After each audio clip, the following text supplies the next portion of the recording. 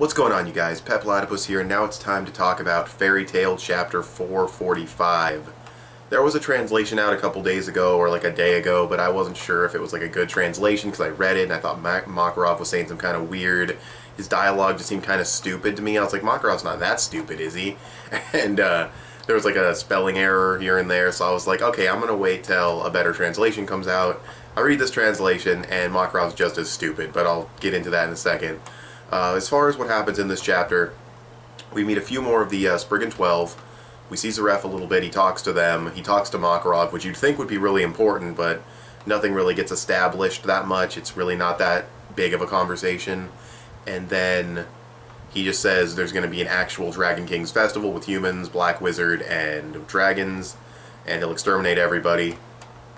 And we find out that Lumen Historia is called Fairy Heart, because, you know, the one true magic has to be love. Ugh, fucking Hiro Mashima.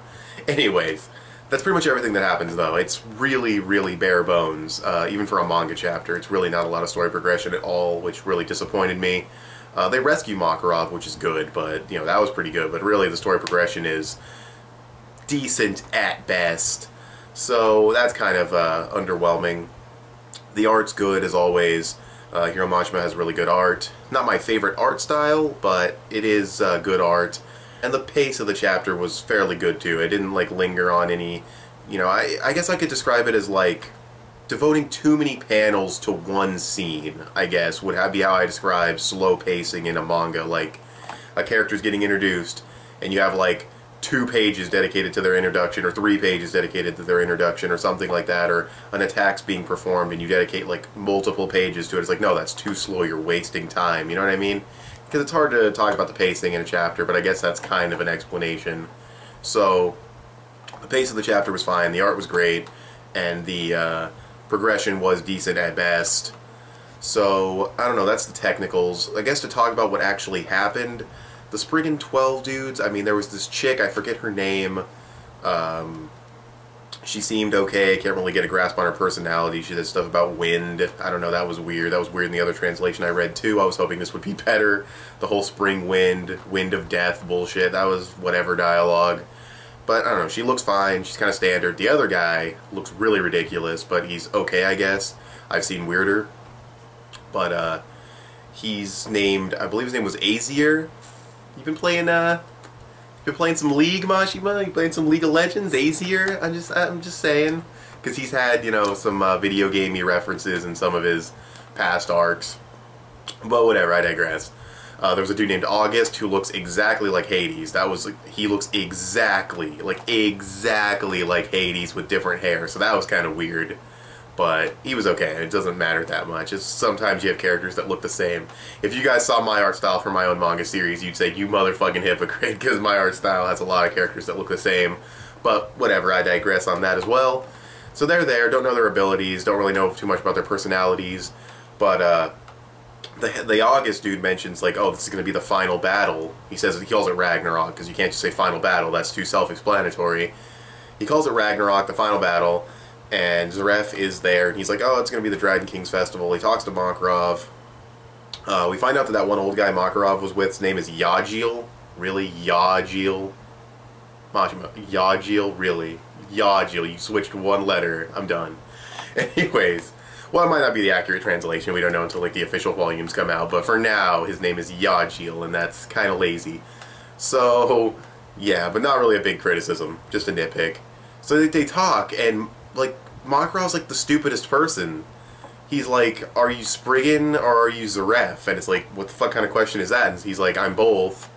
And then he's like, "Okay, so you want Fairy Heart and to destroy Fairy Tail or whatever, Lumen Historia because you're Zeref." And it's like, "No shit, he's Zeref. Like, what are you talking about, Makarov?" And then he's like, "Yeah, I'm gonna start up this big thing with the Dragon Kings Festival." And he's like, "Oh, so you intend to start a war?" And it's like he just fucking said he wanted to start a war. And then he says, no, I want to start an extermination. Same fucking thing, whatever. Makarov was just asking stupid questions. And it was like the most ridiculous thing I've ever seen. And I thought it was the old, I thought it was the bad translation. But no, it's the same in both translations. So I don't know, Makarov is uh, senile, I guess. I don't fucking know. And he's about to die for the 17,552nd time he gets rescued by somebody or saved by something. And yeah, Mest shows up, takes him out. Uh, well, not takes him out, but takes him out of there. He reunites with everybody. They say Zeref was there. Natsu's like, Zeref! And he's like, you're here, Natsu. And it's all like hype and stuff, even though it'll probably just be a friendship punch that wins. But they didn't talk about anything interesting, Makarov and him. Uh, you know, we kind of get like, oh, Zeref, I made this country, it grew bigger, I was kind of wanting to fight Acnologia with its power. Why do you have goals if you want to get killed? Like, you made all those demons to get killed, you made Natsu to get killed, so why do you have these goals? Why do you want to, like, beat Acnologia? Why do you want uh, Fairy Heart? What, like, I don't understand why you'd have goals if all you want to do is die. So that's weird to me. I mean, maybe Fairy Heart's required to unlock End in Natsu. I don't know why it would. Uh, maybe it's just because it's Mavis related, because I think they know each other. Because I'm not caught up on Fairy Tail Zero, but I believe they know each other. And, uh, yeah, I don't know. it was not an interesting conversation to me. Uh, the story progression was pretty lacking, but I'd probably give the chapter around like a 6.5. Because, I mean, other things in the chapter obviously lifted it up quite a bit like getting introduced to those characters, them actually rescuing Makarov. I mean, that's the main goal, and they've achieved it for now, so that's pretty big.